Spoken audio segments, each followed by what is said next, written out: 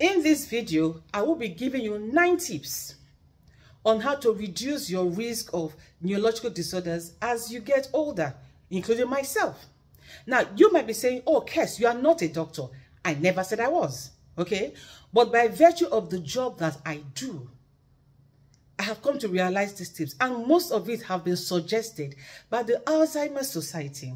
Others I found out on my research, because as a trainer, you have to research. You have to be on top of your game to pass this relevant information to those who are coming to you to be trained. Okay? So number one tip is this, your diet. Your diet plays a significant part, you know, in keeping healthy as you get older.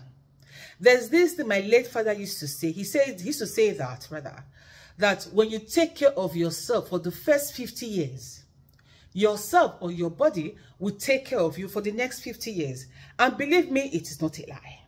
Because I saw how my daddy aged beautifully. Okay? So number one tip is your diet. Like I said earlier.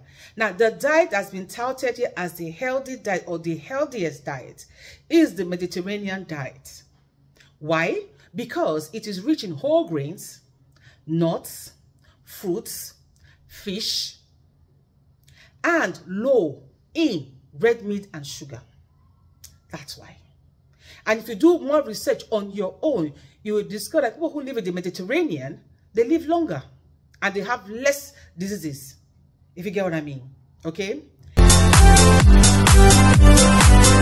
Hey, hey, hey, my name is Kesiena Akwara Atie, a health and social care trainer. To all of my old and new returning subscribers, my mentees, much love to you guys. Hey, hey, if you are just watching me for the first time or you came across this channel per chance, welcome to this channel. On this channel, I talk about care and everything care.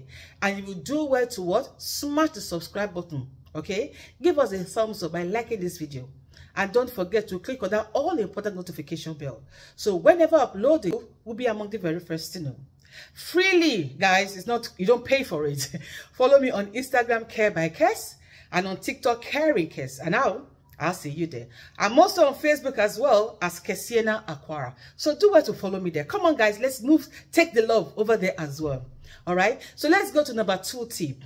Number two tip is be physically active.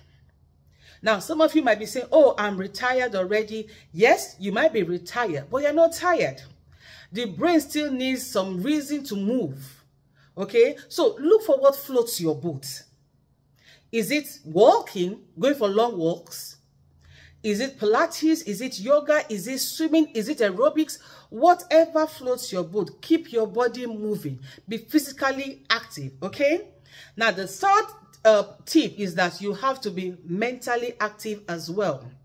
Because you know your brain cell, you have over 100 billion brain cells. You need to use it. Nobody has been known to use three quarter of that yet. So keep your brain moving. The moment you want to be sedentary, you know, you will, I mean, you will lose capacity. Remember the word, or should I say the adage that says that if you don't use it, you will lose it.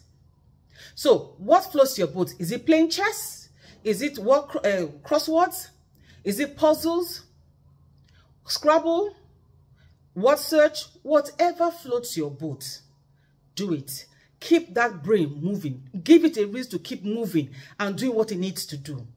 All right. The fourth tip is to quit smoking. I didn't say that. Researchers did. Okay. Now it is said that the less you smoke or if you're able to quit smoking, you reduce your chances of developing neurological diseases or disorders by a significant percentage. Okay. Now the fifth point is or tip is quit alcohol or drink less. Binging on drinks on a daily basis is not helping. Okay? And of course, again, your chances of a neurological disorder reduces if you stop drinking or you reduce it significantly. Next tip is to stay socially active. You hear what I said? Now, it, researchers have said that when you are somebody who likes being alone, lonely, you can it can lead to what? Depression. And that can lead to dementia or Alzheimer's. So be socially active. Now, I haven't said that you should mix with people who are toxic, who give you nothing but stress. No. Be with people who give you joy, who love having you around, who make you happy. Now, if you feel, okay, you don't have any friends, you can volunteer. at the church, wherever, volunteer. That brings joy as well. Okay, because loneliness isn't good. It leads to depression and dementia as well. Now, another tip again is do not stress. Getting yourself through stress isn't right, isn't good for us. Now, we know that when your stress is high, what happens? Your cortisol levels are high. That can lead to neurological diseases or cancer. As researchers rather have said. Sleep is another tip. Let us learn to sleep. And rest as well. Particularly for those of us who are new in the UK, who just came in. And some of you, like I've met a lot of you as well, you are, uh, what I call it now, you're converting the pounds to your country uh, currency. And you're like, yeah, you're in bucks. But remember that you pay your bills in pounds. So my issue here is that please learn to rest. Learn to sleep. That you should sleep for between seven to nine hours. If you feel you cannot make the nine hours mark, at least make seven. Because when you sleep for that seven hours and you get into the deep sleep, in the process of your deep sleep, your brain flushes out all that beta amyloid that have been linked to, to dementia or Alzheimer's later on in life. Let us learn to sleep. Let us learn to rest.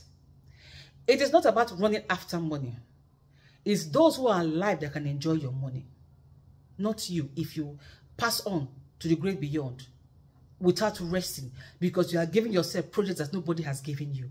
Please learn to rest. You are more important than anything else. If that makes any sense, right? Now, another tip here again is learn to do your health checks. Your health checks are very important.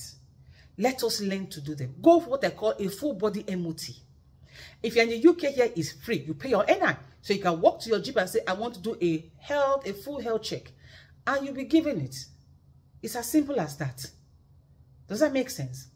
And then lastly, let me also say here that try to prevent any head injuries whatsoever.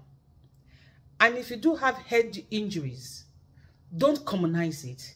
Don't say, oh, it's just a head injury. No, see your GP and get it fixed, if that makes any sense. Because you never can tell what that would lead to.